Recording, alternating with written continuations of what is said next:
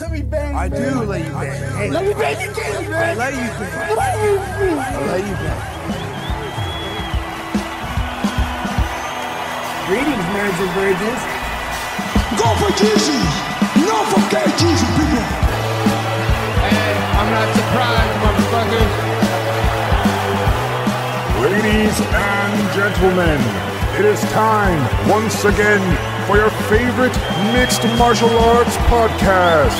Recording out of Los Angeles, California, it's MMA Roasted with Adam Hunter. What's up, people? Welcome to a brand new MMA Roasted podcast. I'm here with the best comedian I know and the best comedy I know. Greg Wilson is here. Um, You are. Uh, nah, nah, it's all good, man. I just got back from Vegas. I did a uh, 14 shows in Las Vegas, which is That's the thing about that Laugh Factory gig. As much as I want that gig, I don't know if I could do 14 shows. And there, how long is it? A full 45 minute headliner set, or is it a Vegas 35 minute headliner set? it's a, it's a Vegas 35, and they go like, and you have to get off. Like it's Right. like because it's all union. So you Yeah.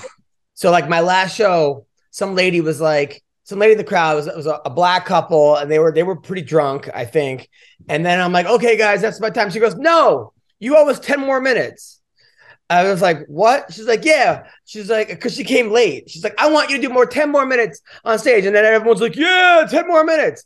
And I'm like, I It's like flattering, but no. Yeah. Yeah. I, I go, trust me, my wife wants the same thing. You know, like I, I tried to make it. Eh, You're the fastest, man. You're so fast. I tried to make it funny, but it was like, but I couldn't go. And then the then the people thanked me because like they would have been totally fucked if I'd have won 10 more minutes. You sure, know? no, it screws everything up. You're right. That it's very different. There is an agenda, and you're how hard you're rocking or how much more time you want to do means nothing to that situation. It's like you got to go, especially and sometimes they had a guest spot, and it's like, okay, I guess I'm only doing 30 minutes now. You know, like I mean, that usually comes out of our time. It doesn't come out of the features time. It doesn't come out of the openers time. It comes out of our time. Yeah. The worst one, someone's like, I'll never hear from people ever. I'll never hear from, and all of a sudden they're like, Hey, I see you're gonna be in uh, Wyoming tomorrow. Mind if I do a guest set? And I'm like, oh, you know, so and especially if I don't even know the comic that well or something, and then they go on and they don't even stay for your set. They go, Oh, I gotta go. Oh, oh my God, that's the worst. That ranks right there with when they're like, "Hey, can I go first? Because I got to go do another thing." And then you're like, "Fine," and then they go first, and they just hang out the rest of the night. It's like I thought you said you had to go, motherfucker. You Yeah. know Th- that happens so often in our business. It's unreal.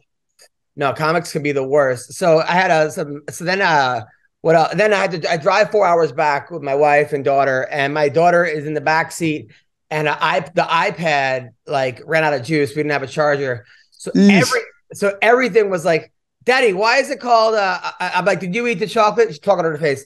I'm like, you're guilty. Why is it called guilty? Uh, it means that you did something that you you're busted, and but why? Well, sometimes people go to court, but why do they go? And then this like, and she just the entire time is why why and i don't want to like curb her enthusiasm or be like no more questions because i want her Right. to want to know questions but it's just like everything is everything is why every it's That, that's the way it is. I mean, and I've seen this, and of course, it's it's it, it wh- however annoying it may be now, it's adorable because it doesn't last forever. yeah. You know, there's going to be a time in a few years where she doesn't ask that anymore. You know, and you're going to almost miss it. But I've seen the look on Dad's face. They're going, well, why? Well, why? I was just at the airport, and this poor guy had he had three kids, and I guess he was in charge of getting these kids to wherever he was going.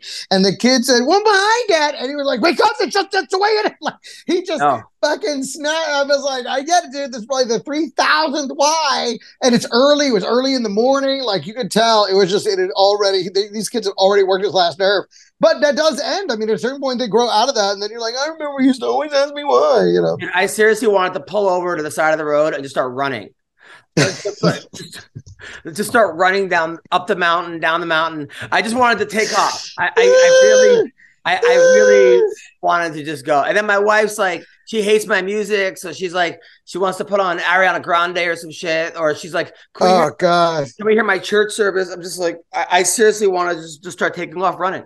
Uh, but then my daughter was funny, like as because she's like, Daddy, I wrote a joke. I'm What's your joke? She goes, What's a cat's favorite color? I said, What? She said, Perfect. Right. So I was like thrilled. That's actually Favorite color? I meant purple. Purple. I thought. Thank I you. I was- I was Purple. like, yeah, yeah, yeah, yeah, purple. Right, right, right. So I was. So then we were all telling jokes in the car, right? Like, but then I have like a million jokes. I'm just making them up. And, and Violet, you know, half of them aren't jokes. Most of them aren't jokes, but they're like, you know, why did the cow go into the closet? Because he wanted to. You know, just kind of alternative jokes, you know. And and then so then Bree starts googling kids jokes. Like my wife's out of jokes. She starts like Google, and then I'm like, no, that, that's cheating. You got to make them up. So then she starts rattling off kids jokes, and my daughter goes, still not laughing. Oh,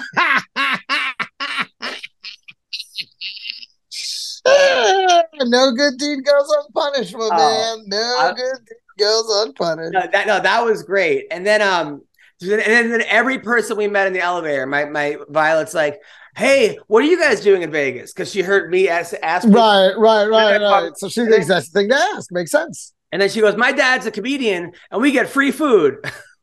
I was like, You might not want to. yeah, let's not yell that kid. Let's not uh, advertise that. I, you now you got to step up and be like, I also get paid in money. By the way, I also get money for these shows. So it's not all just free food. In fact, free food's a very small part of it. And I also smell. Anyways, don't listen to her.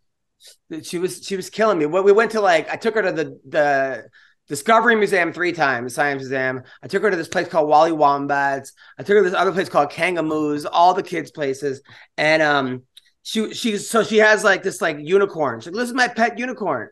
So it's his birthday today. So I go, "All right, happy birthday" to her fake unicorn, and then, you know to her little doll, and then she goes, "Sorry, he's not much of a talker." like, like, like she's fucking killing me. Uh, like, like Dude, she's got a lot of you in her. Oh man. Oy, oy, oy. uh, th- yeah. Then I, I started laughing, and then oh, then, then and then then people are going up to my daughter and being like, "Hey, you have really beautiful eyes." And she goes, "I know." I, I go, I go, Violet. We we say thank you. Like we don't Yes, just right. don't exactly. Just say thank you. That's all you got to say. Yeah. Um, and then, but then, then we were at this thing where they had like the kids could like dress up as pirates and stuff. So of course, this little girl hits my daughter with a sword, right? Not like a real sword, like a like a fluffy sword, but it still was like not appropriate, right? Yeah. Uh, so then I'm like, I'm like Violet, you know, because she hit her in the head with it, and I'm like, I, I go, Violet, you know, I'm proud of you for not hitting the girl back. And she goes, Well, I didn't have a sword. Ah, I was like, She knew Yeah. not to bring her hands to a sword fight. Ah, there's McCorkle. there there he is um but it was funny though because like my daughter's my, my wife's her back is so bad right so i'm always popping my wife's back and and then my daughter usually helps you know she either watches or she helps and she um, cheers. She cheers. She corrects, critiques. Chris. so like cut to like uh it was like christmas and we were at my wife's family and her her, her mom her grandma my, my kid's great grandma grandpa she gets a barbie and ken and she lays down barbie flat Oh boy. Oh and then boy. she goes, "This is Daddy," and then she starts going, "Uh, oh. uh." I was like, Yeah, I I don't think I would put her in any sort of uh, childhood counseling or anything. You're gonna you're gonna have some questions to answer. yeah, after. you're gonna have some things to answer for, unfortunately. So um, how was your weekend, Greg? What are you doing by the way? it way? was. Uh, I am filling out. Okay, so fuck the post office. Whoever this fucking guy is, you know, the guy that Trump put in charge. I actually liked him because he came from like an efficiency background, and a lot of things he said needed to be done. I agreed with. I was like, yeah, this is shit. Hate him if you want, but this is shit that does need to be done to, to improve the postal service. Totally agreed with that. But he really, there's some parts where he really fucked up because like I I put in a change of address last year when I moved. You know, tax documents forwarded. This year, the thing the order expired. So instead of just delivering them to my old address, where a neighbor would have collected them and just told me, "Hey, come pick these up," they instead marked everything return to sender. Uh, So they returned rather than than because it expired, rather than just deliver them, they returned all of my tax documents. And so I'm now trying to track down, and you know, we're actors. I have like 14 to 16 different employers per year that Yeah. send me W 2s, not to mention all the 1099s from all the Conley clubs. Now you're looking at another 30 documents. So, I mean, it, it, and I got maybe a third that had my current address. You know, and so I mean, so now I'm having to track down all of them. So right now I'm sending this new release to this talent change of address request to NBC Universal because I have two different fucking accounts of them. Even though I did shows for them here in Los Angeles, they should have my current addresses. They were sending everything to fucking Brooklyn. So I mean, I it's just been this huge thing. So Can it's like I'm trying to right? Can you get an extension on it? yeah, I'll have to do an extension so I can track down all the documents. It's a huge pain in the ass, though. So that's what I'm doing right now because I'm just trying to get this off my desk so I can move on with my life. And I'm done right now and set. There we go. All done. Sorry.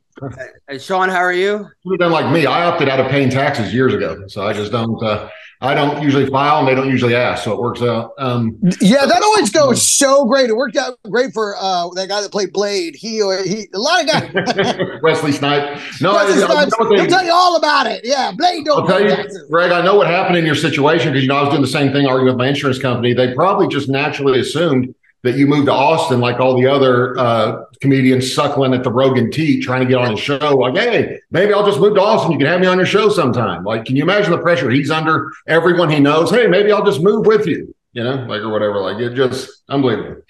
Yeah, I think he pretty much opened up a comedy club just for that. Did he Yeah. ever open it though? From what I understand, he still hasn't opened this I think it Joe opened Rogan up- club. Pretty sure it opened last week. Um, so I think he I opened. Okay. he didn't have Schaub as his first act. Speaking of, did you guys uh, did you guys see the Arnold Schwarzenegger today? He said uh, I had a or Schwarzen African American. I'm sorry. Um, he uh, he said today uh, that Nazis are losers. Like that was the headline. He says Nazis are losers. And I thought, man, what a brave statement to make. Like I want to come out. He inspired me. Like I put on Twitter, I'm not a fan of school shootings. Like 75% of them at least are unnecessary. You know what I mean? Like it, Oh it really took some balls to come out and say um, uh, Nazis are losers, guys. Like God, man, that's a risk in his career. You know? Yeah, way to way to take it. Well, he is Austrian, but way to take a stand now. You know, Right. we're, Why? What? How did that becomes a statement he felt the need to make now? This makes it. Was he in Austria and was like, by the way, I feel it. Make it clear. When, Not, when I down, was not down with the Nazis. I know I look like one, I sound like one, and all my bloodline were one, but I'm Well, not wasn't cool his wasn't his dad a Nazi or something? Isn't, I think something like that. yeah, yeah. By the way, Greg, I met the girl. I'm I'm friends with the girl whose face you rubbed in her tits. Uh, your face rubbed in her tits. Uh, at, at like your dirty at twelve thirty show. Oh yes, the she's like a porn girl, right? Yeah, she's a porn girl. So Yeah. anyway, so, so this girl comes to my Uh, wait a minute. Let me be clear. I poured liquor down her tit into my mouth. Just to be clear, okay? It wasn't like I just uh, no. I very she she released the breast to me, and I gently poured alcohol down it and into my mouth. That is what's happened. And that's the story that's going around, by the way. That's how it gets interpreted, just so you know. When that happens, every nobody says you rubbed your face in her tits. Everyone that relays that story says it exactly the way. Thank you were they're very smart, it would have been rubbing alcohol. Yeah, they were very delicate, and they're sure to make sure that you understand that it was just pouring liquor down her tit. And now, if her tit fell in my mouth after that, listen, I, I don't remember. There were a lot of things happening, a lot of moving parts, a lot of moving parts. So, Happening. Sean, this girl's like 22, 23. She's I- very hot. And her husband is like, got to be in his 50s or 60s. He's like a Yeah. Italian guy. And I guess he, he films her getting like plowed like by like black dudes and the, like anally like he like they make OnlyFans or something. I don't like she's Right. and like he doesn't seem to. So he- he's. I got to be honest, you're making me wish I'd gone hot tubbing with them now. Because they did Chris invite me. They did. They did invite me to go hot tubbing, and I was like, I don't think my wife would want me to go hot tubbing. No, Chris D'Elia no. won't watch it because he said he's not into mature porn. So he was like, no, I don't. Chris D'Elia. Oh, Chris D'Elia. So, um, so this guy, so yeah, so Sean, this couple, like, they're into some weird stuff. It's like his third marriage. He just said, "Fuck it," went with his young, and she, cut they're really nice, like, like incredibly nice. But she comes to my show, and I'm like, "Something's different about you." She's like, "Yeah, I got my tits done." I go, "Oh," she's like, "Want to feel them?" And I was like, "Yes, of course." I Thank you, thank you. But- And she's very, she's very comfortable with her body. but but no, I'm not gonna just feel like I mean that. Well, how come when I was single, I was never want to feel my tits? That was never that never ever happened ever, right? So she told me that like she had done a, oh so she comes with this like Indian porn star who's a grandma like from India, right? She's like Okay. a straight. Uh so she's and and then some I just other- went from midnight to six. and then Katie Morgan, right, who used to host Real Sex back in the day. She was like naked. She's super hot with her She husband, is. She's very hot, and very cool, very funny gal. Evan Stone. And then some other girl who told me that her, her vagina uh, has is like gorilla grip.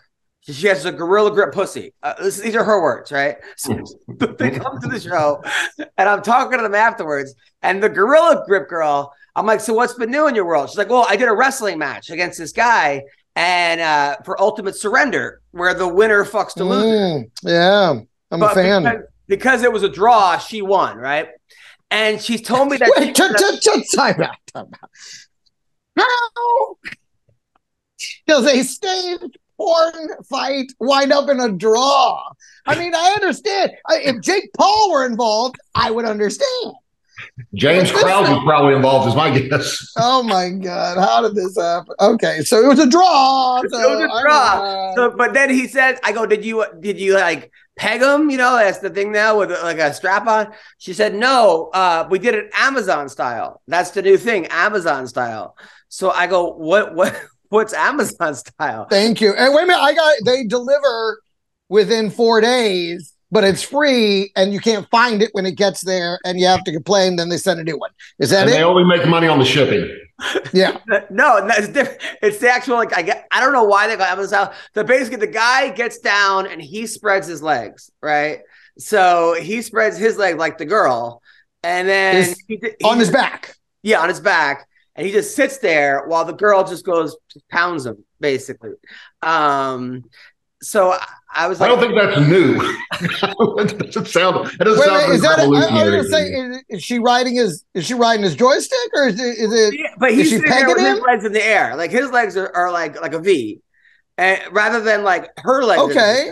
He's sitting down, her legs are like a V, and she's pounding him. So he's just sitting there with a boner, right? Basically.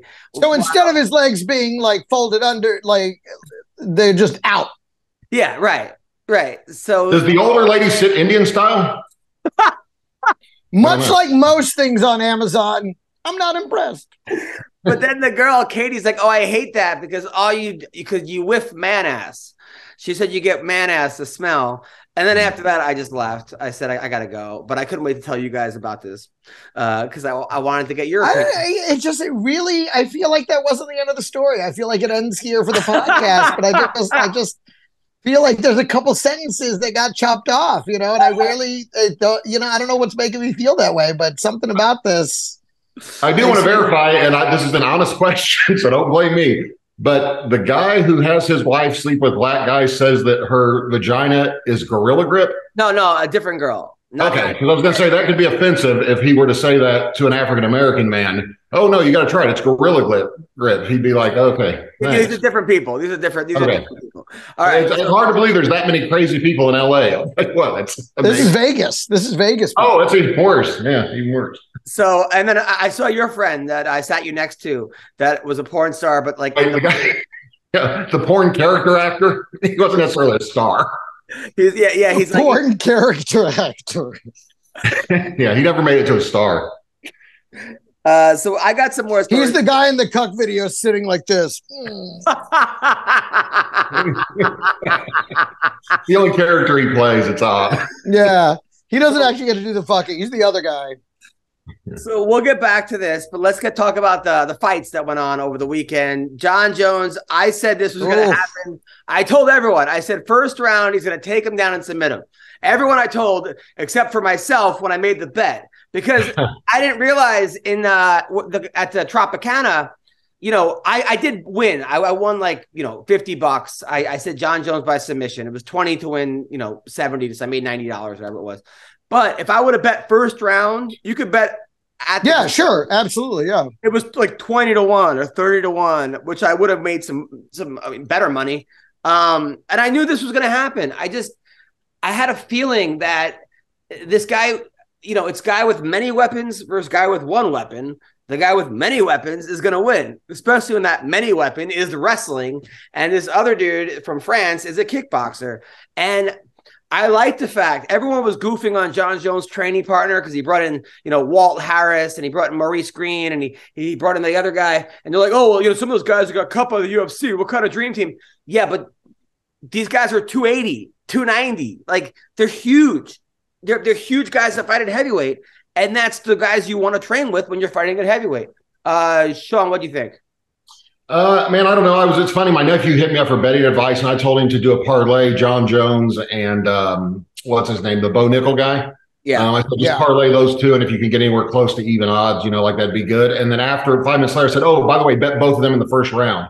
And he said, "Well, that would have been great to know because it's you know what I mean, or whatever. The Bo Nickal fight had already happened." You know, I said I meant to say bet both of them. I guess that would have astronomically made the odds go through the roof because I figured they would both. I knew Bo Nickal would win the first round. I thought if Jon Jones won, it'd probably be in the first round because I thought he'd either be able to take him down or not. You know, so um, but I figured he probably would. But it uh, Jon Jones, I think um, he like sold his soul to the devil. I actually hit Monte Cox up last night, and I don't know if you remember Monte. He managed a bunch of the champs for years. I said, dude, what is it about Jon Jones? Like you have to tell me because I just don't. I don't. I mean, I understand it, but I kind of. I mean, to go in there and beat somebody in a minute and a half like that. And uh, he called me right before this started, so I was like, I can't talk right now. I'm gonna have to hit him back later. But uh, he was going to explain it to me. But it's uh, he's something else. I did notice real quick. All the did you see all the sponsors on the cage? no. Yeah. Dude, it was you know they they said that they weren't allowed to have sponsors on their shorts because it was distracting on their shorts and shirts and walk the cage. I'm like, oh, I'm glad they all moved to the cage so the UFC could get paid. but I seriously was sitting there and I told my buddy, I said, dude, there's more sponsors on that cage than there were at Jon Jones' last AA meeting. Like for real. Uh, no, it was insane. Every inch of it was covered. No, Yeah. it- it- that's true. But I mean, uh, come on, it's obvious. They don't want the fighters to make the money. They want to make the money. right. They But fighters they- get what but they want. The when they fighters get what they paid, and that's it. Now, the old Greg, days when they negotiated a contract, they told you we don't pay very much, but you can make more in sponsors. That's how they got you to sign it. You know what I mean? And now it's now we're taking away your sponsors. So it's like now, now, Crazy. Greg, you picked Ciryl Gane. Were you surprised? Yes. Were you surprised? I was very surprised. Listen, the guy. Okay, I really felt like he'd been working. What has he been working on? What, were you working on, Ciryl? What did you think was going to happen? He even told you his whole thing. I think the whole time, especially since the Ngannou fight, was he been working on his wrestling and his takedown. Apparently, he didn't work on. Apparently, he thought his power would be enough and that he wouldn't be able to take him down, and that it did not prove to be true. And I, I mean, it was so by the numbers exactly what Jon Jones wanted to happen. I'm like, Ciryl, he's this, he's one of those guys, and the heavyweight division, I think, is more prone to this than any other division, where guys skyrocket up the up the Yeah. division, right? They get all the way to the top, and then they finally reach guys with real skills. And then they fucking and instead of improving, they're just like, but it worked before. And then I mean, we saw this out of what's his name, the the uh, the guy that was the the, the uh, WWE fighter, the Brock. the Brock, Brock Lesnar. Same Yeah. thing, incredible power, skyrockets all the way to the top. Then he gets up against some guys with real skills, and he ends up fucking. And same, same thing with uh, Rozenstruik. It's kind of Yeah, like and and this guy and Gane's another one. This meteoric rise right up the range, beats everybody's ass. Looks like he has, and I'm like, okay, he's got to be working on his ground game and his submission and his takedown defense and everything. And apparently he didn't. And he was just counting on his strength to be able to save him, and it was fucking garbage. This was one of those cards. I will say this. It's weird the way some cards I got a I really can see it. I'm like, and I pick, you know, like five out of six, four Yeah. out of five, and I have a great run. in. This card, I was wrong about almost everything. Well, I uh, missed on everything with the exception of the Alexa Grasso fight. I did put, luckily, I threw some money on her because she was plus 550. And I'm like, this feels like one of those ones, like maybe. And sure enough, when she pulled it out, I was like, thank God. Made some of that money back. Well, when uh, Ciryl Gane said, I only train in my camp, he goes, I don't train in the off season. I don't train when I'm not in, in camp. And I'm, I'm like, yeah, you're fighting the greatest of all time. Um, yeah, but has, how is that not true for Jon Jones? He's taken four years off. I mean, come on. That isn't that Jon Jones different. is I one of those guys. I mean, he's a, he's look, he's a, you, you can't get to where he is without working hard. But when you have two brothers, when you have three brothers and two are in the NFL, and one Yeah. is the greatest and superstars in the NFL. the fighter. Yeah, I mean, you obviously have more natural ability than almost anybody, and it's just Yeah. a matter of whether it's up to you if you're going to take advantage of it. Um, Honestly, I want their dad to impregnate me. Give me one of give me one of these superhumans, man. I could I could use the retirement plan. Jesus, Now, it's unreal. now when he called out Stipe, and today he's or in the press conference, first he called Ngannou a pussy because Ngannou said, "Hey, I'm the real king of the heavyweight division," you know, but good job. And he goes, "You're a giant pussy." Right. Right, which is which is why Jon Jones stayed away for three years when Ngannou was calling him out and kept saying, "I want 100 million dollars to fight him." And the minute it can't happen, and Stipe's 47, and he's like, "All right, I want Stipe now," you know, whatever. That's the thing. It's like, look, I want Stipe to win. I like Stipe. He's a friend of mine. He you you can't pick like almost two more opposite careers. You gotta get you got one guy who's a fireman in his free time who like never gets in trouble. You've never heard one bad thing about this guy. Literally, he, like when he's not the heavyweight champion, he's out saving people in fires. I mean, and then you got a guy who just uh, we don't have to even go into Jon Jones what what Jon Jones but you can't pick two more opposite people. But man, Essentially, one knows how to live his life. Uh, and But- the other, he's trying to be a good guy. but here's the but. The, the but is like, is he going to catch Stipe when he's when he's kind of past his prime? He's been knocked out by Ngannou his last fight. He got knocked out by Daniel Cormier. Um, you know, Or is this the kind of thing now where it goes to fucking Jon Jones' head and he takes his foot off the gas and he goes, you know, he goes really easy and he doesn't train nearly as hard and then he goes in there and gets caught by a hungry Stipe who like shows up and is focused and trains really hard. I mean, both are just as likely, I'm afraid. Sean. Yeah, I think I mean I think Steve is definitely physically past his prime. I actually trained with him a couple times. I got completely destroyed when we, com- we trained. Uh, like I was nowhere near any good still, but when I trained with him, I was shocked at uh, he's not crazy strong, but he's extremely um, athletic, like extremely athletic and very quick and very uh, like on the ground, very sneaky. Like he can do all kind of like does different stuff, even jujitsu wise. It's kind of sneaky. So um, I would love to see him win, but I think, man, he's uh, he's taken a beating for years. He spars hard too, man. When they spar, I hooked him up with a pro boxer here out in Indianapolis, who's one of the best. I've never seen a guy can box like that. Um, when he was getting ready to fight Mark Hunt, I hooked him up, and uh, this guy was ten and zero and just got burnt out and quit fighting. But he was like uh, champion material, like as a kid, you know. And um, he said Stipe shocked him with how good he was with the stand up, you know, like so. But it's uh, I would like to see Stipe, but I think Jon Jones probably finds a way to beat him just by being seven or eight years younger, you know. Uh, you're probably right. I mean, he is old, and you know, I mean, he, I, I, I, I mean, that's, I mean, with all likelihood, that's how that goes down. I don't even know how you can make that, make any money on that fight with all the betting being heavily on Jon Jones. I think the real question is how much coke did he do after that fight? That's the question. I mean, I almost think I hate to say it, like a better Two better eight balls. a better fight is going to be Curtis Blaydes, Jon Jones, because there's a guy who's a little bit more. I mean, he's right there. He's They've never fought, right? No, no. Jon Jones has only fought one guy at heavyweight. Curtis, Curtis Blaydes is a big guy. Oh, I thought Chris Blaydes at 205. Yeah, you're right. Okay, yeah. So I mean, that also is, is a good fight uh, for Jon. Yeah, because Blaydes can wrestle. He's not like Jon Jones. The thing I found interesting, um, Cormier was talking about today, and he said that uh, Cormier was saying that um, at his best, he feels like he could beat Jon Jones sometimes. At his best, he knows he would beat Stipe every time. You know, so he said like he thinks that's the difference. He said uh, he wasn't nearly at his best against Stipe when he lost to him or when he beat him, but he said he at his best. He said he was at his absolute best both times. The second time, especially when he fought Jon Jones, and he said it still wasn't good enough. You know? He was winning the fight. I was there. I was at both Yeah. those fights. He was winning the fight going into the third round, and then he just got called the head kick, and it was it was over. Uh, now Shevchenko. Can wait a minute? Can Ngannou come back, or is that just a done deal? He's banished. He's not allowed. the They'll UFC, never make a deal with him again. According to UFC, we're done with Ngannou, but I don't think that's the case. I think every I think Ngannou is going to go and test him out, test out the waters, and realize that Tyson Fury is not going to fight him with small gloves. Um, and Yeah. the money isn't going to be where he thought it was at. The PFL is not going to pay him. Bellator can't afford him, I don't think. And I think he's going to go back and fight Jon Jones. I'm calling it super fight in December. December. I hope so. That's the only fight that I think makes any sense. That's worth watching. That anybody will pay to see.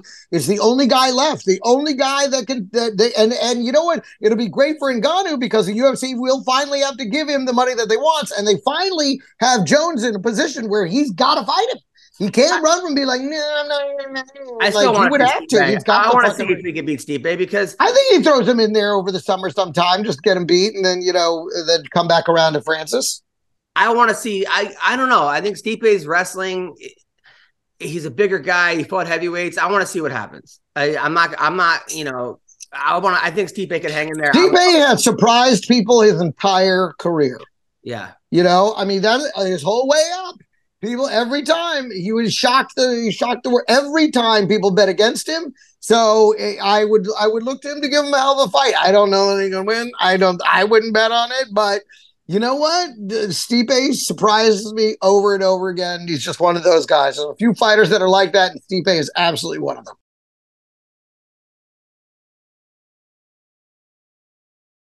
What's up, people? I got to talk to you about HelloFresh. First of all, what is HelloFresh? With HelloFresh, you get fresh farmed, pre portioned ingredients and seasonal recipes delivered right to your doorstep. You got to skip trips to the grocery store and count on HelloFresh to make home cooking easy, fun, and affordable. And that's why it's America's number one meal kit. Number one. All right. You can make mealtime easy with delicious recipes made with fresh, wholesome ingredients delivered to your door. No lines, no hassle, no gas, all that other stuff that you have to get there. No, just great tasting meals you can whip up and enjoy in the comfort of home. Sounds good to me. HelloFresh has 40 weekly recipes to choose from for all meal occasions, lifestyles, and preferences. Okay.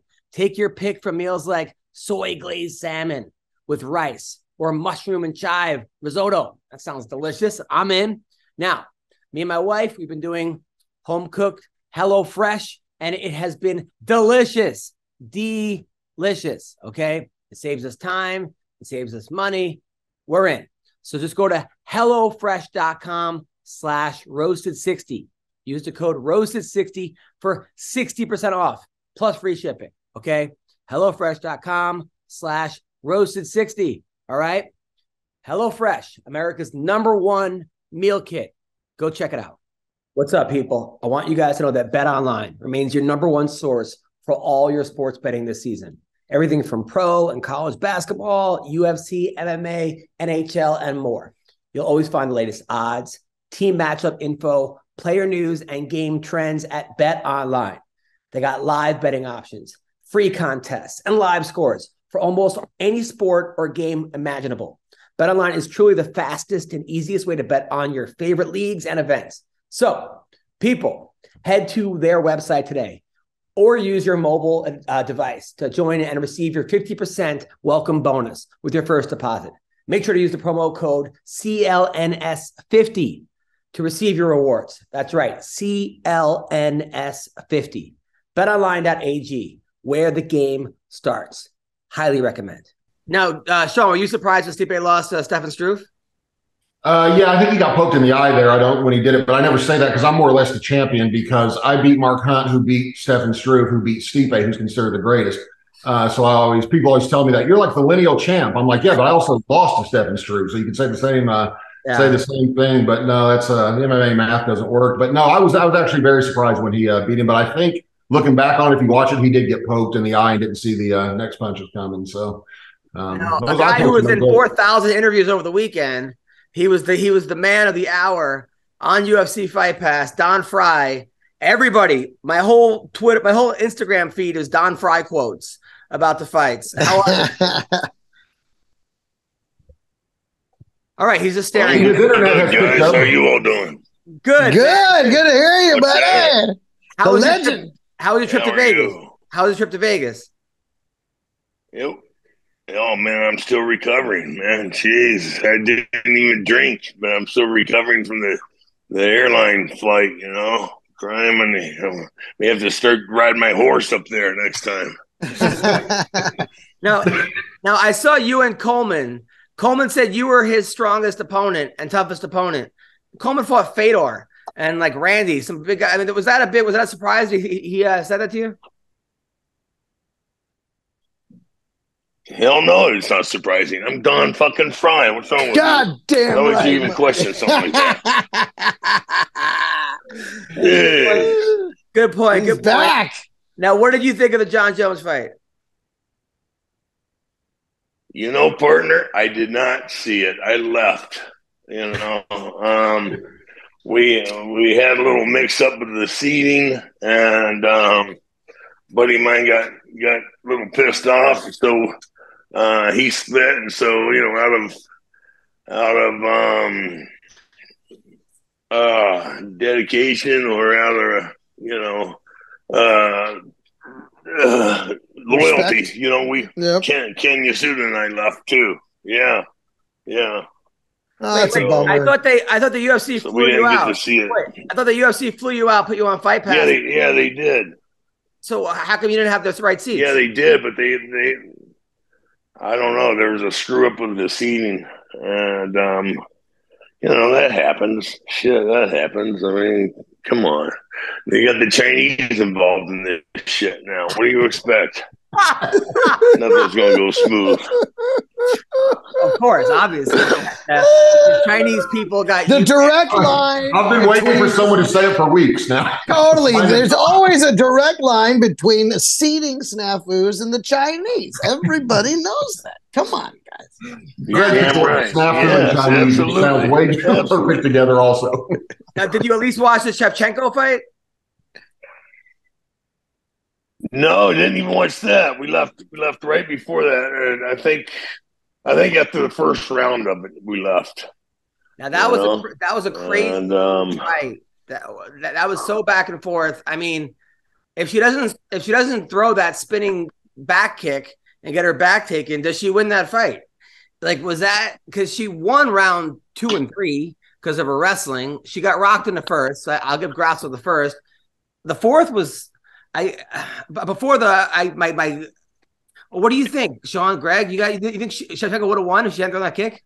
For yeah, sure. I, yeah. I think Grasso was absolutely waiting for that. I think she'd been training for that. I think she was waiting for the opportunity. She knew she would do some kind of some stuff like that because she likes to do that that martial arts stuff. I mean, she loves the the wild kicks, the question mark kick, stuff like that. And I think she was waiting for the opportunity to to take her down right then. And it finally, pre- I mean, it presented itself earlier. She wasn't able to finish it. I think that was the one, and and she got her. I mean, that was it. She, I think she was a thousand percent counting on that to happen.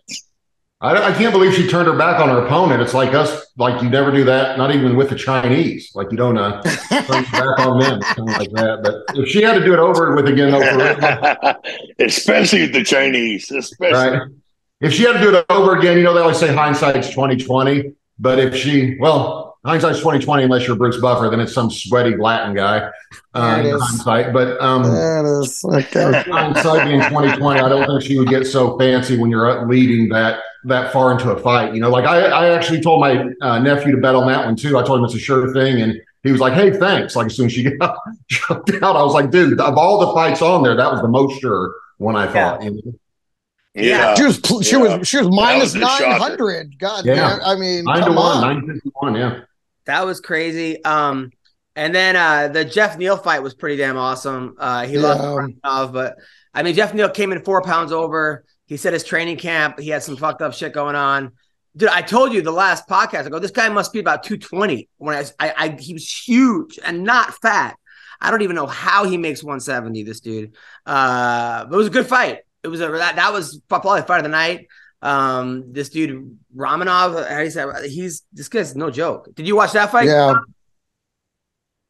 Yeah, yeah, that was a good fight. I was really happy with it, you know. And uh, with uh, the wrestler, uh, what the hell is the wrestler's name? Bo God dang. Nickal. Bo Nickal. Bo Nickal. Yeah, Bo Nickal. Nick Bokel. Yeah, he, he did a good job. I mean, it, it took him longer than what I thought. You know, I mean, maybe, maybe you just want to get used to the, the lights and the uh, surroundings or something. I don't know, but yeah, I mean, I, I expected him to take that one. You know, within ten seconds. Shit. Now, I mean, he's now 4 and 0 in the UFC. He's talking about being the pound for pound greatest of all time. He started he he he started with like a crazy kick that like almost fell on his ass, which was kind of funny. Um, but according to Henry Cejudo, this guy's got to slow down. He needs about five or six more fights before fighting anyone in the in the top ten. Sean, you agree? No, I think uh, I mean I wouldn't throw him in the top 10 right away, but uh, I mean, they're going to have to put him in there with somebody with a little bit of wrestling. I think I text you guys, I dream of a day that Chimaev can't make 170 and has to fight Bo Nickal because he's not going to, he's going to get ragdolled by Bo Nickal instead of the other way around. You know, I'm dying for that to happen because Chimaev thinks he's unbeatable. You know, like he gets in there, somebody's going to wrestler, so it's going to be a problem. But um, the is funny how they kind of, I mean, I wish they would have done that to me. I always made jokes. Uh, like I, I told Matt Mitrione, like who was he sleeping with at the UFC that he got to fight Kimbo Slice, then Joey Beltran. Not the good guy, but Tim Hague. Like I'm fighting Mark Hunt, Stefan Struve, like my first two. And he's fighting the worst heavyweight in the UFC. The only terrible heavyweight in the UFC he didn't fight was me. So like that was the only that was like the only bad heavyweight he didn't get to. I, I would love to have been on that uh, that schedule of his. I'll tell you that. I, I, I felt bad for Jamie Pickett. I thought, you know, I thought he'd answer the bell a little. I thought he'd last a little longer, take it into the third. You know, I mean, I just I expected more from him. I really did. I figured he heard the noise. It was like I'm nobody's stepping stone. I really just expected more. And Bo Nickal went out there and, and just really manhandled him pretty, pretty. I, again, I was like, wow, I really, really missed, I whiffed on a lot of these this time. Well, he's So, protesting the stoppage though. He said he got kicked in the balls, and that's what caused it. But I don't know. I mean, I I didn't see that. I don't think The he's thing, man, I'll tell you, the thing with those wrestlers like him at that level, the advantage he has, he can throw any kick, anything he wants. It doesn't matter because even if he ends up on his back, he's going to be right back on top. You know what I mean? So it doesn't matter unless he's with an equal wrestler. But that's why he threw that kick and he went down at first. I was like, he's probably hoping the guy jumps on him so he can turn around and just, you know, sweep them, and get back on top. It's that uh, that easy when you're that good of a wrestler. I used to wrestle with Purdue's average heavyweight wrestlers and get destroyed, let alone Tom Erickson. You know, so it was. Uh, And this is like- when you were 270, 280? What's that? This is when you were 280? Yeah, when I was yeah, in UFC in shape, man, like walking around 290, um, I would go up there with Purdue's wrestlers, and under wrestling rules, I couldn't do anything with them. But if we were doing jiu-jitsu, I'd choke them out every time, you know. But we're just straight wrestling. I was trying to learn how to wrestle, so we just did straight wrestling rules. I couldn't literally could do nothing but get taken down. Like it was ridiculous. I'll tell you who I Wow. felt bad for was Derek Brunson. Oh man, he used to. Uh, go on, Don. Tom Erickson used to bounce me off the fucking wall. Tom Erickson used to bounce me off the practice wall like a basketball. You know, just- guy's just a monster. Uh, Derek Brunson, man, because I he was my parlay. I bet Brunson, and then my first one was out. He was like doing great. He won his first round, and then he just got fucking him and Julia Marquez. I don't know if it was depression Ugh. or what, but both of them just gassed Yeah. hard. I mean, obviously, it was also wrestling and throwing hundred punches. But man, Derek Brunson was a guy. He was doing like hockey fights, going punch for punch, and then he was like, when I was doing that, I was winning half my fights. And then he adjusted and he was just like wrestling. He started beating guys like Darren Till and all these guys. And He he figured out a strategy.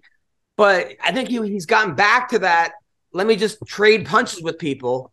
And unless you're Don Frye, that, that doesn't seem to really work that well. Um, what did you think of the Derek Brunson fight, Don? That didn't didn't always work for Don Frye either. Uh, you know, I, you know, you know, I, I think you're right. Uh, they gotta, they gotta slow down, reassess some stuff, and um, you know, you've got to stick with, got, got to do the dance, but you've also got to increase your, your knowledge of the sport. You know, the styles, and, and you've got to, you've got to um add add to yourself continuously add to add to your um repertoire Yeah. Yeah. that Dricus du Plessis guy, he looked pretty good in that second round, man. he He did. looked uh he looked real good. I was like, okay, this is, I mean, it was pretty severe. I liked him. and And I had bet on him. I had actually picked him in my parlay, but I also took Araju's Araujo, so that one was already dead. So And then the uh, the the Ian Garry fight, I you know, this kid's gonna be good from Ireland. He's like undefeated because he got dropped. I never saw a guy get dropped the way he did and go back and tell his corner exactly what went wrong. It was almost like he was cornering. his corner. He was like, he got dropped, and he's like, "Here's what happened. If I just do this and stick to this thing, I'll win the fight." I'm like, he's telling his corner what he should do, which I thought was, I'm like, how much, how hard did he get hit where he thinks he's the corner man? But fucking, Reminiscent of Apollo Creed. They're like telling, they were telling Apollo Creed like uh, everything, like uh, You know what I mean? Like, hey, you can't stand there and trade with them. Like, don't tell him what to do. He always had another idea. Like he was always, don't throw that towel in. Like he's always got something else going on. I always wonder, by the way, and Don and Sean, you could add to this. Like sometimes when you're watching, especially the Apex fight, where the other corner is screaming out what to do, are you hearing the other corner and then responding to? Because he's always like, throw the right, you know, one, two, or you know, five, six, or that jab's right there. Like, are you ever listening to the corner and then responding based on what you hear? I, didn't. I, I I was just I could just hear my my my guy Steve Owen. I could just hear his voice, you know, out of the whole crowd. But um, I know Ken Shamrock's. He he told told Steve and I. He said, "Yeah, halfway through, I quit listening to him, started listening to you." so, he, he did that. Yeah, I, I my experience is a little different than Don's. I had many occasions where I fought in front of almost no people, so I was able to hear everything that was on because there were no fans. Um, but uh, I do remember several times hearing the other corner saying he's getting tired, like talking about me to his guy, and I'd be like, "Damn it, they can tell I'm tired." You know, like they'd be thinking like I must be showing it. They'd be like, "He's getting tired," or like the time I told you guys when I heard Don Frye literally from two feet away say I look like I'm about to quit after the first time I got kicked. He goes, "The world's like he's ready to quit." I was like, "Damn, Don." I'm- we just started. We one leg. I, I got to get kicked at least three times before I'll quit. So, Uh, so some other stuff. some other stuff that's going on, by the way, is uh oh, by the way, so uh I, I didn't tell you, um uh, people that came to my show over the week, Walt Harris came, Jon Jones' whole team came. I was worried that Jon was gonna come because I was hoping he would, so I would like apologize. But Walt Harris came, and I'm like, Walt Harris is the most powerful heavyweight since Lizzo. You know, like I was, I made fun of him, and then and then what's his name came, the guy who knits, uh, the uh, what, the, what's his um, you know, the guy, his other training partner. Um, I, I, I I'm guessing Dominic Who Cruz is knits? talking knitting. yeah, yeah, he was, yeah, the guy was on the Ultimate Fighter, and he was always drunk and knitting. Um, and he like that's his like whole thing. Maurice Greene, Mo Greene came. That was that, that was pretty awesome. And then uh, Jake Shields came to the fight. Meanwhile, Jake Shields is responsible for like remember the whole on CBS the mayhem brawl he got into. When- yeah. So I don't know if you remember this, Greg, or if you were a, fan back then, but basically it was on Sh- Strikeforce, and Jake Shields beat Mayhem. So Mayhem, mm-hmm. so Jake won a fight for the championship, and Mayhem runs into the to the octagon and goes, "Where's my rematch, motherfucker?" While it's on CBS, and then the Diaz brothers, Gilbert Melendez and Jake Shields, all jump Mayhem. So now that's like Jesus. now there's a hundred people fighting on TV, and the camera just goes, and then it's Gus Gus Johnson goes, "These things happen in MMA," and they were out of time. They just pan out, and now the show's over. So the show's over, and all you see are like the whole everyone's fighting. Like th- that was the And end. then, and then Big Brother season premiere started. Like it really was like that. Like it just went Yeah. like, last week on Big Brother. Like it's somebody. Yeah, exactly. Coming up next on 60 Minutes. It would have been great if, like, during the commercials, they went back to the brawl, like uh, the Big Brother commercial. Like, so, but then, right? So then Jake Shields was responsible for basically, or not the, the, main culprit, but for getting CBS thrown off, MMA thrown off show, uh, CBS, right? And then he got into it with Greta Thunberg. You know, so Greta Thunberg and that that guy, what's his name? You know I'm talking about? Uh, Ant- Tate, the guy who's Yeah. now. You know what's his name? Andrew Tate Yeah. they were going at it, right? They were fighting on Twitter. And then Jake Shields pops in and goes, Why don't you guys fuck already? Right. So then Andrew Tate writes, like, she's not ready for this D or something. And then Oh, posts, yeah. posts a picture of him, like, uh, with, with, with, with like a pizza, eating a pizza. Well, anyway, they find out where the where he is based on the address on the pizza. And then the Romanian fucking police come in, bust him, and he gets now he's been in jail since then. And it's because of Jake Shields. So Jake Shields is now responsible for two for fucking Terrible. I'll tell you what, I've hung out with Jake Shields seven or eight separate times, and he introduces himself to me every time. He's he's like the nicest, And I'm like, actually one of the nicest guys. But Yeah, I always tell him, I'm like, dude, how do you not remember me after the eighth time we've hung out? I don't mean just met. I mean like hang out for five or six hours. And he goes, hey, Jake Shields, like shakes my hand. I'm like, yeah, dude, I know. I remember you. Like, I, I don't know what he's And how do you forget McCorkle after five minutes, let alone five hours? People have Literally. met him for five seconds and will Uh, never forget this motherfucker.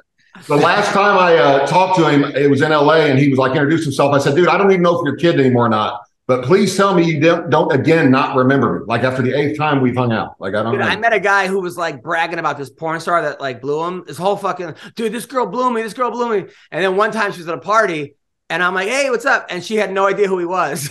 I was like, Yeah, but you know, I mean, you know, when you go through when you go through a hundred dicks a month, I mean, you know, Jeez, it's hard, that, does hard that to really keep make you? Yeah, do you really question that? Yeah, yeah, like if she did remember you, that, that might not be the best thing.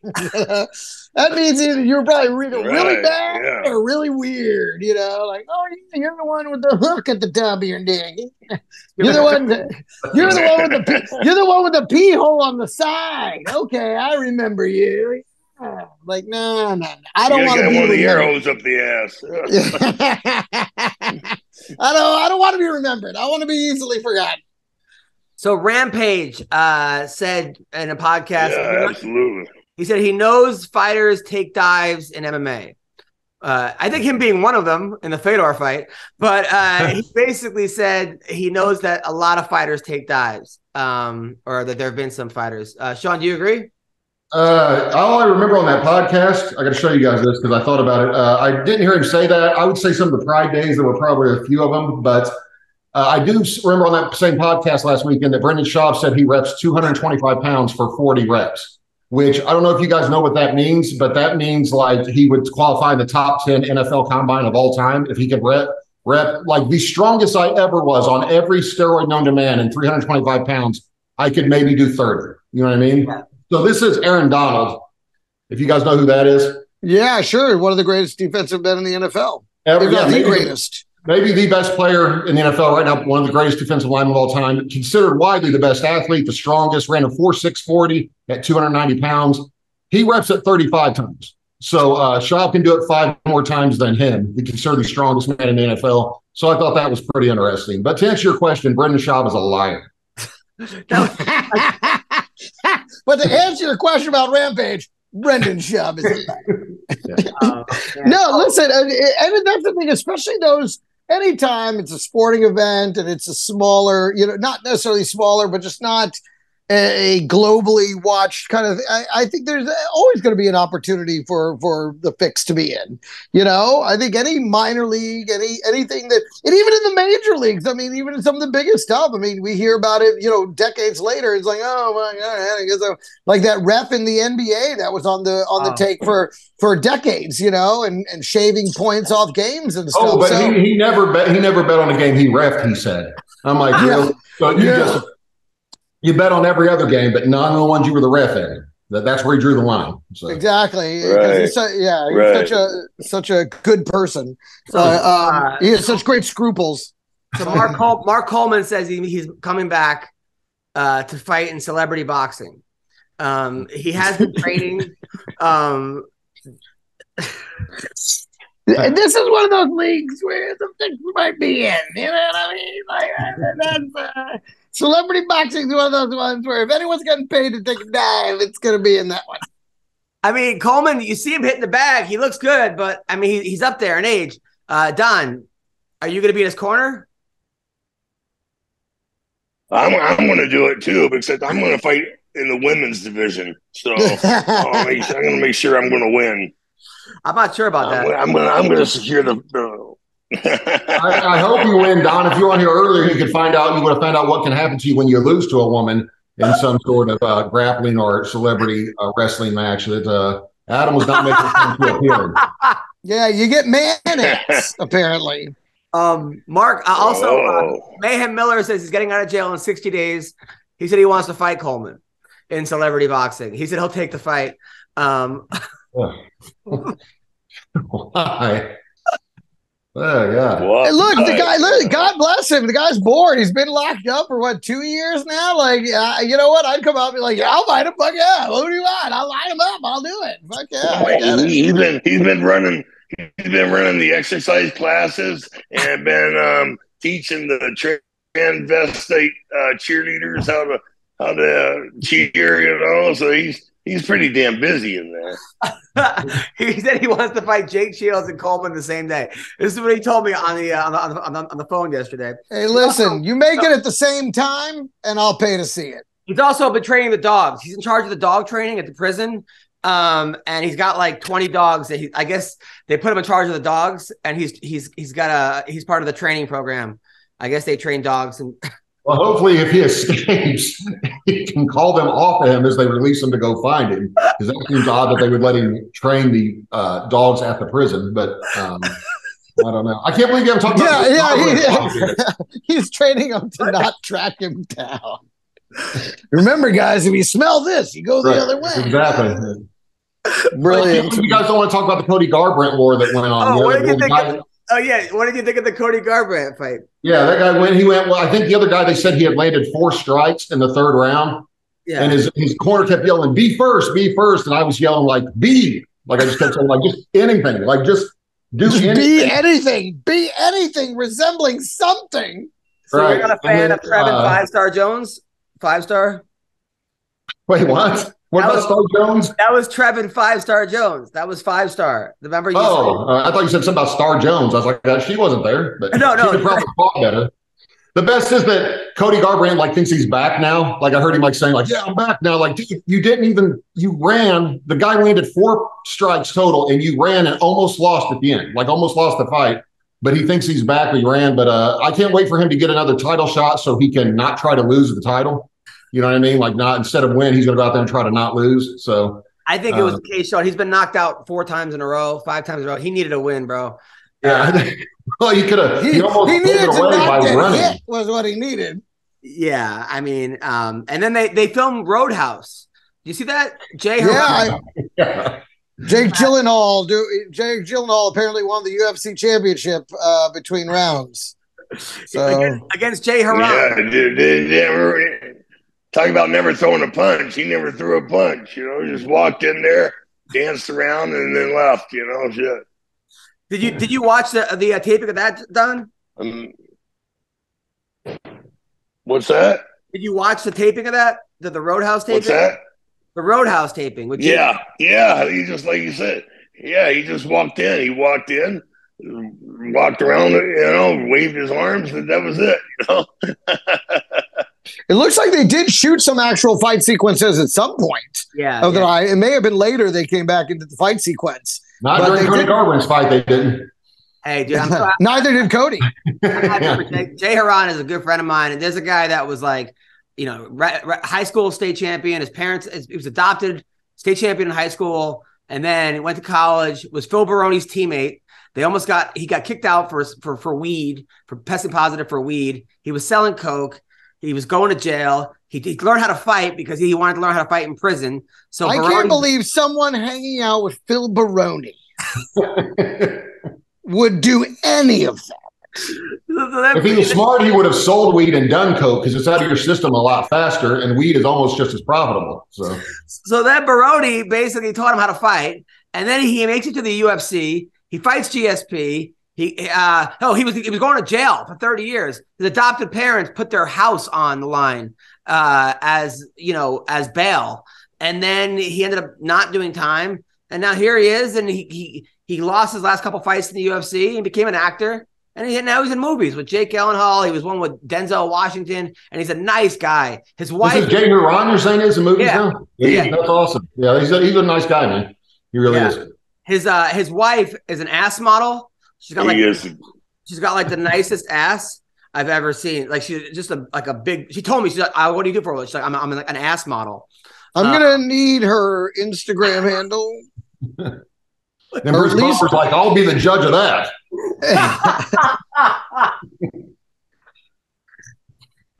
so the fights this week we have Benson Henderson in Bellator, another secret card.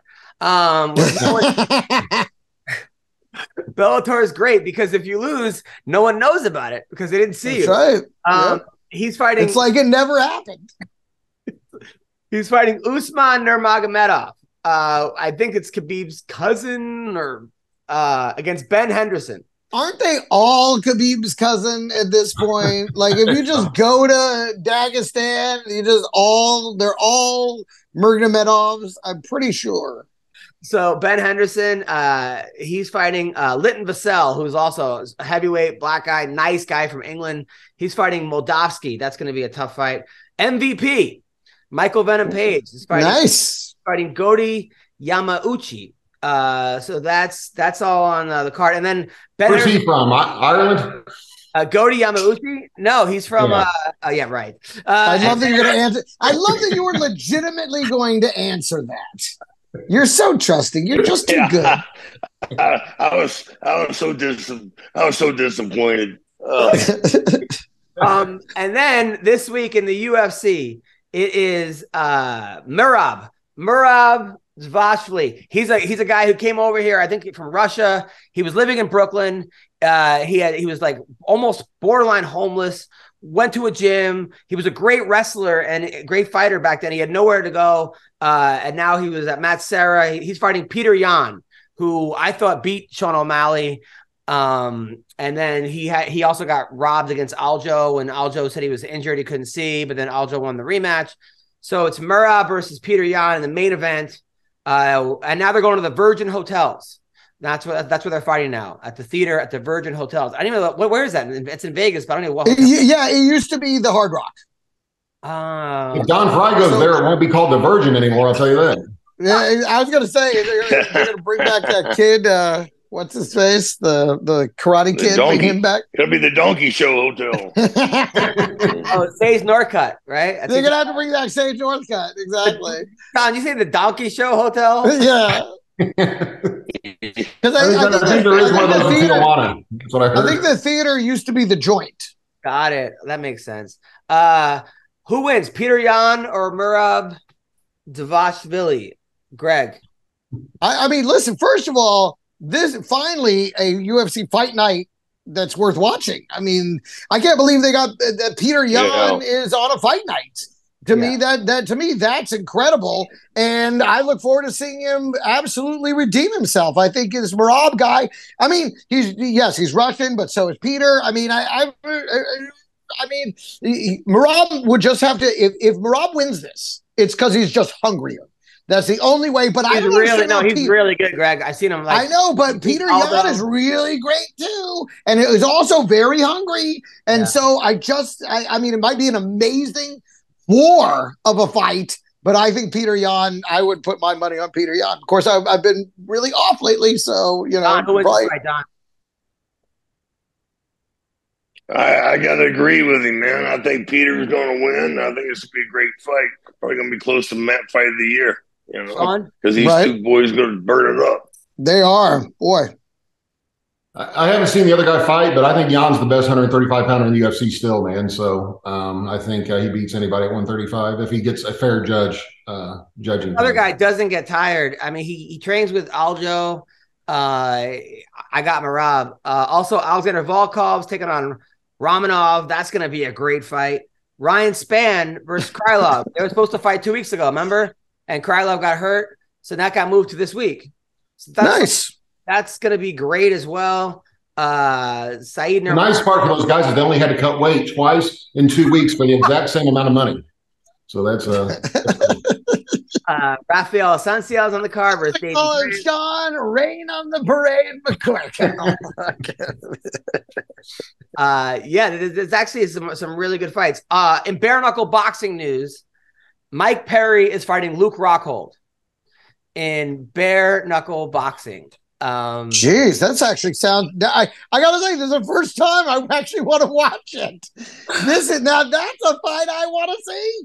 um, now Perry already said that uh, Rockhold's driving home in a body bag, which I, I, I don't know how you can drive. If Yeah, you're That Yeah, seems I was great. gonna- yeah, exactly. um, He's gonna fly home on a donkey. A white, a white one, a Caucasian one, or a black one. uh, uh, uh, I don't know the body bag or Yeah, the body bag. I don't. I'm a little confusing on that one. You're off today, aren't you, boy? I am. You are I'm off, dude. I'm off. I'm, I'm off. I got up at six o'clock in the morning. I fucking drive. I, you know, I'm a kid. I take the kid to school, which I always do every day, but today especially. And then, I, you're in town. yeah, right. Thank you. Thanks for, of course, Greg. Appreciate that. I'll Um, tell you what, man. Listen, shocked listen, that, uh, as your wife's representative on the show, I just would like the audience to know. I'm shocked that Mike Perry can even walk around with the size of his balls if he's willing to fight Luke Rockhold, who has to walk around at 225 pounds. I mean, like I don't know. Mike Perry's Yeah. not a big dude, man. And if he's fighting, I mean, he's easily 40 pounds lighter than. Mike Perry is not aware of what his size is. well, the thing about Mike He's Perry, just like a little chihuahua. well, the thing about it though is that the usually the guy with the bare knuckle boxing experience usually wins because it really people think it's a boxing match when they go in there and it's a fucking hockey fight because you could clinch and all that stuff. A lot of guys, they go in there and don't realize what they actually signed up for. Then their second fight, third fight, they look a lot better. Uh, that being said, like like Rocco's no dummy. I don't think he's gonna go toe to toe with Mike Perry. Mike Perry may have this the hardest chin in the history of the world, but you're right. He's probably about 40 pounds heavier. On the same card is going to be Chad Mendes versus Eddie Alvarez in bare knuckle boxing. So this is also going to be a actually, where, where, which, where can we actually see this? Because I'm not joking when I say I actually want to see this. um let me see uh when this is uh, and also it says ben rothwell it said also featuring ben rothwell which somebody said sounds like like the, the worst mixtape ever He's gonna. He's fighting. Uh, you know, the worst thing is when someone's fighting TBA and you end up being TBA. Like you know, you're a bum when you're TBA now. Like you aren't even on the card. You know, like so april 29th in uh colorado bec rawlings rowdy beck against ferreira who's the champion this girl's a monster also featuring ben rothwell perry rockhold mendes versus alvarez i don't know how they have this money it's seven dollars a month for unlimited fights um where I'll tell you what, man. It'll be interesting to see how much of the share of the lawsuit they have to pay when the CTE finally, like the lawyers finally work their way around to the UFC, because like the UFC is going to pay a big chunk to you know fighters with brain damage, but these places doing letting guys that are 50 years old fight bare knuckle, you know, after their UFC careers is is uh, they're going to probably be part of it if they're still in business, but I'm guessing not by then. so Don, Right, it'll be so- completely bankrupted by then. And not only that, I mean these what the releases and the indem- uh, can't holds, uh, you know, uh, you know, find unindemnifiable or whatever. They, you know, they, they, I'm sure it's going to be very hard to get anything out of them. so They know who- what they're getting. Don, into. who wins this card? Uh, Rockhold or Perry, and then Eddie Alvarez versus Chad Mendes. I think Rockhold, right? I'm a, I like I like Roger Rockhold's fight. Yeah. You know, he's a big, strong dude, and uh, like you said, he's going to have forty pounds on, on Perry, so that's going to make a hell of a difference. You know, when you just stand there throwing punches. And um, I think uh, Mendes Mendes is going to pull this one through too. I think I think so. Right, he looks good. And now also, uh, Nick Diaz said he wants to come back. He's ready to come back, but he wants to fight Stylebender. Um, what world do these guys live in, man? Shit. look, I, I I love Nick Diaz. I just don't think the last performance he had against Robbie Lawler um, justifies making him versus Stylebender. That Yeah. being said, with the current UFC, the way that they're doing things, I would not be shocked if they made Stylebender You know, Nick Diaz. I hate to say it, you're right because it would sell tickets, and at the end of the day, that's all they give a fuck about. And you know, so if he were to come back, they're they probably I could see them saying, "Yeah, you know what, you got it." But would would Stylebender do it? Would he sign off on that? Yes, Does he have any say in fight- it? Easiest fight. I mean, he's fighting for he's fighting the rematch next. Uh, so against the guy If he loses the rematch, I would not be a bit surprised if UFC did that to Nick Diaz. You know, like that is uh it'd be ridiculous if they did it, but that uh yeah, that wouldn't surprise me at all if they did that. They uh they love to use the old guys, man, to uh they love to do that to the old guys and the new guys. Like when they called me and went off me a contract, I was like, I'm not interested in getting served up to one of your guys you're trying to build, you know, like one of your guys is already good. Like, no, no, it'll be a first time UFC fighter. And I'm like, okay, cool. But um, they love to do that to the old guys, man. Like let them be the stepping stone for the new younger monster. Like they try to do Nate with uh what's his name, Chimaev, you know? Oh my god, that right, 100%. Now, did you guys watch the Chris Rock comedy special? Ch- change Did watch it? Yes, I did. I watched the last eight minutes. I think really after watching, I just had one question, and you guys would be way better qualified to answer than I would. But I was watching, I was thinking, okay, better special. This one he just let out, like just released, or Gringo Poppy. Uh, I, thought it was. I thought it was a great special. I loved it. I mean, look, it wasn't Bring the Pain, but Bring the Pain is the greatest comedy. I, I was gonna say nothing will ever be bring the pain. You know, like but this was So- angry vintage Chris Rock. yeah. which I think is the funniest Chris Rock when he's angry and doesn't give a fuck. Um, and I thought it was I thought it was great. People were mad at it. They're mad at it, which is exactly what he said was going to happen in the special. All these people on Twitter are like boycott Chris Rock, blah blah blah, and, get rid of Chris Rock. I'm like, this is what he's talking about. I- Is Yep. it's, it's selective outrage. hundred percent, the selective outrage is what you guys are doing. I thought. It was, did you watch it, Sean? I watched about the first five minutes and the last eight because I just wanted to see what he said about Will Smith, really, because I wanted, I heard that was great, like everything he said about Will Smith. But it, uh, Honestly, you caught the best parts of it. Uh, the the thing about it was it did drag in the middle because at a certain point you're just like, okay, get to the Will Smith part. If I were him, I would have opened with the Will Smith stuff and then done a nice big callback to it at the end. Right, You yeah, know, yeah, I, I feel like the audience was kind of waiting, like, okay, get to the Will Smith stuff. You know, like there was no way to not be waiting for that. Right. And you know, on an hour long journey, it just it kind of dragged a little bit in the middle. It started out like fire, man, lightning. And I feel like if he would just rearrange that a little bit, because the stuff in the middle did drag, unfortunately. But but but overall, it was it was classic Chris Rock. I mean, and for the first 20 minutes, I was like, this is fucking fantastic. Then the middle 20 minutes, I was like, okay, we got to get where we're going. And then the final 20, I was like, all right, here we go, back around yeah. you Yeah. know and i feel like um he was they were like he when he stood out there for the applause break i feel like he was milking it a little bit like like trying to be like right i got him i got like like take it and maybe come back out like you know I, I i don't know i felt like he, he it was a that was, but again who am i to say otherwise i thought overall an incredible special great writing brilliant delivery, tons of energy, great anger. It was the Chris Rock that that that that is the best Chris Rock. Yeah, hundred percent, hundred percent. I mean, don't forget that first Bring the Pain special. People don't know this. I talked to Tony Rock about it. Was it was after he had just got on Saturday Night Live. He was he got fired for he left SNL for a Living Color to be the executive producer, season nine. They canceled that. He had all kinds of debt. He had to, he went on tour with Martin Lawrence. Martin was doing an hour and a half to open every show, blowing Yeah. out of the water. This was Martin Lawrence when he people don't realize how big Martin Lawrence was. He had Martin. He had Yeah, no, he was the biggest. Yeah. and then Chris Rock was essentially getting booed off the stage, like like not being able to follow Martin.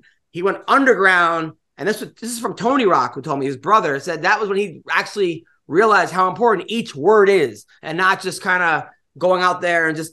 And then he came out and just guns a blazing came out with Bring the Pain, and that's that happens a lot of times. I remember talking to Bill Burr.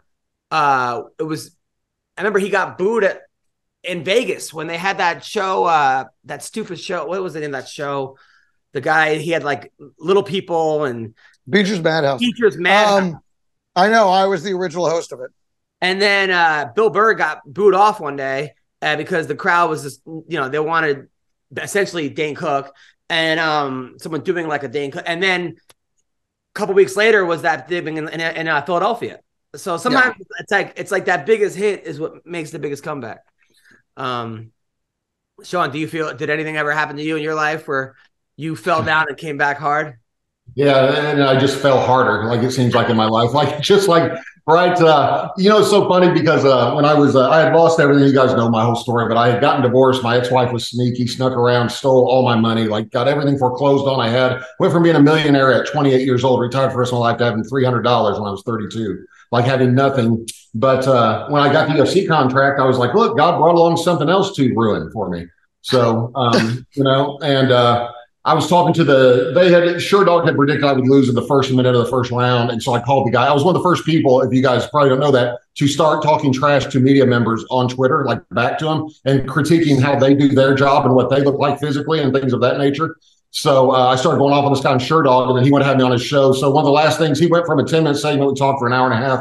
He goes, "Why are you so confident you're going to win?" I said, "Because I'm going to commit suicide if I don't." So those are my options. I said, like, if God brought one, I wasn't being serious, but I was like, if God brought one more thing into my life just to take away from me, then I'm done. You know, I said, so I don't, uh, you know, like I'm not, uh, not going to keep doing this. And so I really was like, I, I figured I had nothing to lose. Like nothing got worse than my previous two years before I fought, but it, um, Well, you know what? I think someone needs to tell Ciryl Gane that um, to take that approach. You know, Dude, I, these guys like Don, I don't understand. I've never understood. I guarantee you, Don doesn't understand. If you're gonna lose anyway, why not go for it? Like, just throw some punches. Like, the chances are Jon Jones is going to beat you, like nine out of ten times. Why not come out swinging and just see what happens? You know what I mean? Like, why instead of Yeah. just slowly Yeah. waiting for the inevitable? You know, like I just I don't get it, man. Don, you yeah, ever it was Don, you ever go to a fight? You ever go to a fight thinking that you were going to lose? You might as well go out swinging. Oh yeah, of course, of course. You know uh, the fight against uh, Le Banner. You know, I knew I wasn't gonna, didn't have a chance. You know, that was my fault. You know, I didn't train for it, so uh, sat on the back porch and drank whiskey and or drink tequila and smoke cigars. You know, for eight weeks, and uh, And then Just fought so one of the greatest kickboxers so in the history Dude, he, yeah, yeah. in kickboxing. Talk about dumb. dude, and, and, and like the pre-fight, he goes, "I never even thrown a kick before, and I'm going to beat this guy." He fought the number one kickboxer without ever throwing a kick. Well, in MMA, Don would have killed him, but kickboxing, that's a whole different story when you're fighting a K1 champion. So Yeah, yeah, yeah. Don, Don, it was supposed to be a rematch. There, there was supposed to be the rematch in MMA rules, but of course, you know, you uh, Sakakibara, being the piece of shit he is, lied about that too. You know, yeah. If you ever talk to him, let him know he still owes me thirty thousand dollars too. So that'd be nice to get that. well, he owes me a lot more than that. I'll tell you that. Does he? Yeah. Fucker. now, now, Don, when you were in Vegas, were a lot of girls hitting on you this week? Oh, constantly, man, constantly. It was unbelievable. I was just like, I'm just, you know, just eye candy to these girls, and they, they have no limits. You know, they just all grabbing me and groping me. You know, jeez, it's like you know, go home and pay some attention to your old man. I, love it. I love it. By the way, that girl that you were doing an interview with, that girl Caroline, is a she's beautiful. That girl that you with Yeah. the British chick. She is. She's beautiful. She's beautiful and she's funny and smart too. You know, she's got her shit together. She really does. But you know what's sad is her boyfriend, her fiance, is more beautiful than she is. You know. that is sad. There's no way he's more beautiful than you, Don Frye. No fucking way. Listen, guys, I gotta go. Love you guys. I'll be in uh-huh. Vegas at the LA Comedy Club at the Strat, March 13th to the 18th. I love you guys. Have a great rest of the show. Okay. Hey, man. hey, bro. Bye bye. So, was there any sexual tension, Dom, between you and you and that girl? Oh, I'm sure there was on her part. Yeah, yeah. I mean, can you blame her? No, I did a show when she was in the crowd, and it was uh they hired me for the UFC gym Christmas party, and it was Matt Hughes and uh BJ Penn in the front row. And I was like, oh, Matt, I, I didn't recognize you without BJ's nuts in your mouth.